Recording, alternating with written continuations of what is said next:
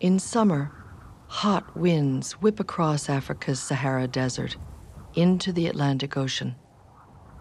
These winds ignite with ocean heat, sending warm, moist air up towards the colder atmosphere. The Earth's rotation gives these winds a twist. This year, scientists predicted stronger storms due to the unusually warm seawater, probably caused in part by global warming. In August, people prepared for a hurricane called Katrina as she headed towards Florida.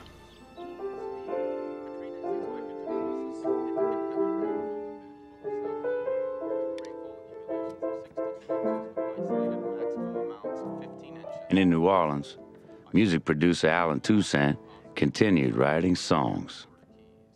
Hurricane Katrina is now moving across Florida, weakening as it passes over the Everglades. When it enters the Gulf of Mexico, As Katrina moved back over open water, the storm drew new strength from an abnormally warm stream of water called the loop current. Now, this year, the loop current was two degrees warmer than normal. And with much of its wetlands buffer washed away, New Orleans was considerably more vulnerable than it had been earlier in its history.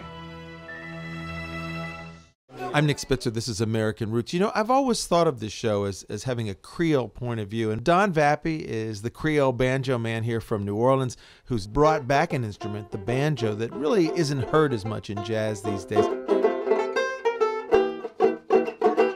Welcome to American Roots, Don Vappie.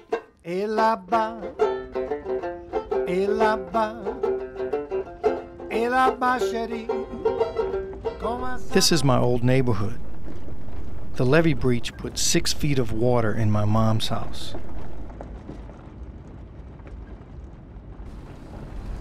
Well, we're here.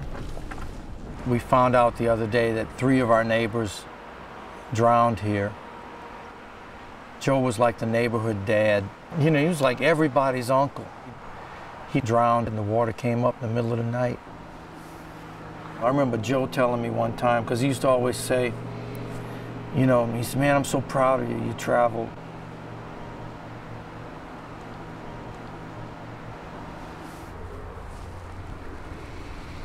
I don't know, it's completely messed up. It's just completely messed up. Preserving and displaying one of the largest archaeological finds in American history was an enormous challenge. We began learning the delicate and intensive science of artifact restoration. Today, one of the most technologically advanced preservation laboratories in the United States is located right here in this building. In it, we Tunica Biloxi preserve our own past as well as that of others. Let these artifacts tell our story a spirited culture embraced by the sun and borne by the eagle feather that cherishes our past and builds for our future. These marshes are nursery to waterfowl, fish, and more than a third of America's shrimp catch. But through most of the 20th century, their value would be measured by what lay thousands of feet under them. It was clear that coastal Louisiana should be a major oil province. The oil industry got involved, but they had difficulty in exploiting for the product. All of their technology was land based, so they tried to transfer land based technology in a wetland environment. It didn't work. So they had to go back and rethink how they would drill for oil.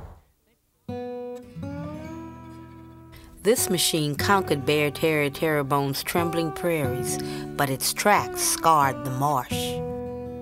Canals were dredged for heavy drilling rigs, and more canals and more canals, pathways for toxins that degraded water quality.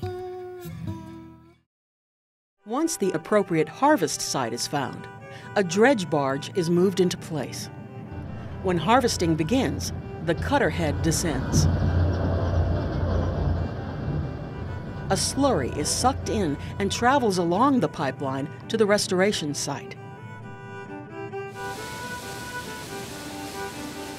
As the slurry exits the pipe, it is formed by machinery. As one area settles, the pipeline and machinery are shifted to pump in an adjacent area. Once the site is raised to the specified elevation, all machinery is removed, leaving a minimal human footprint.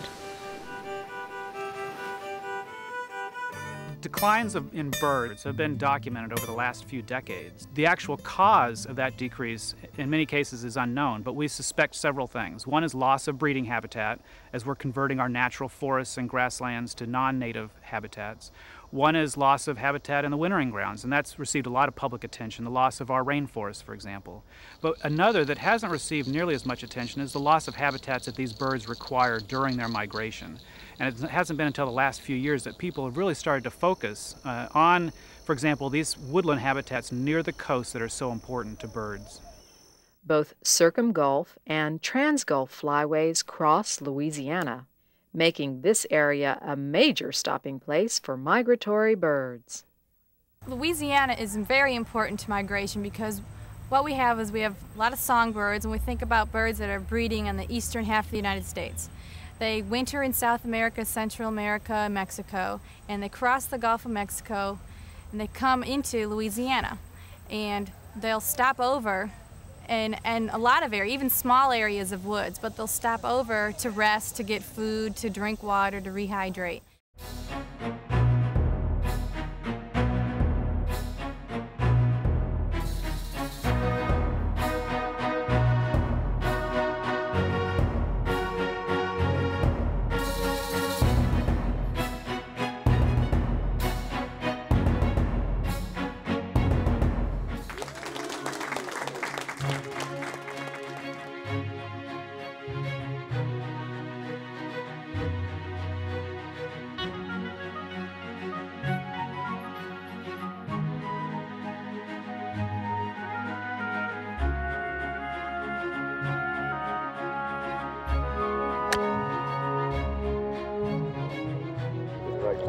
Be the right club today.